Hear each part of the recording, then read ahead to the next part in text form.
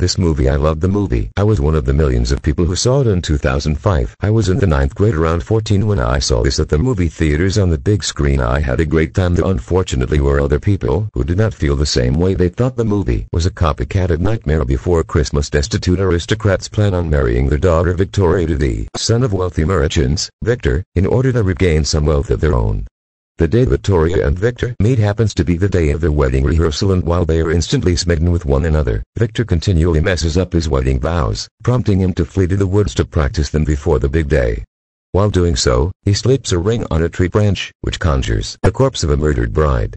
She claims Victor as her husband and whisks him about to the land of the dead. Victor then has to find a way back to Victoria before she's married off to the evil Lord Barkis. I really adore stop-motion animation and The Nightmare Before Christmas is one of my favorite spooky slash holiday films. I recall seeing Corpse Bride in the theaters back in 2005 but I haven't watched it since, until now. I can't help but wonder why. Corpse Bride is exactly the kind of movie I would love to watch around this time of year. This film is the kind of Tim Burton I adore.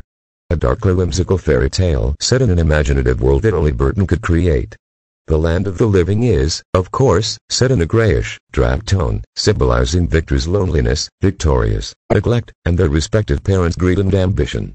When the titular character, Emily, appears, she pulls Victor into the land of the dead, and, of course, it's colorful and loud, full of singing skeletons and talking spiders.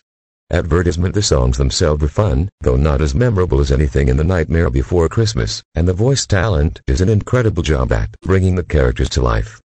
How can you go wrong with Albert Finney, Christopher Lee, and Helena Bonham Carter?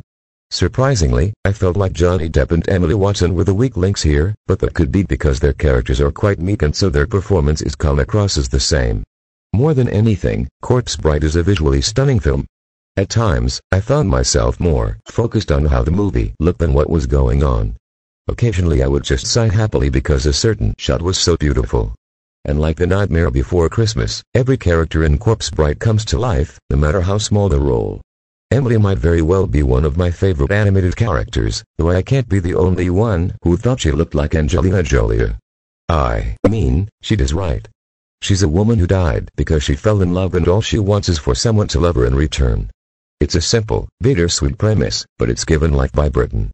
I wish Burton had focused more on these kinds of films than the live-action movies that followed in his career. Sure, they look like Tim Burton, but they're also missing that macabre charm that was Slash's, Burton's trademark.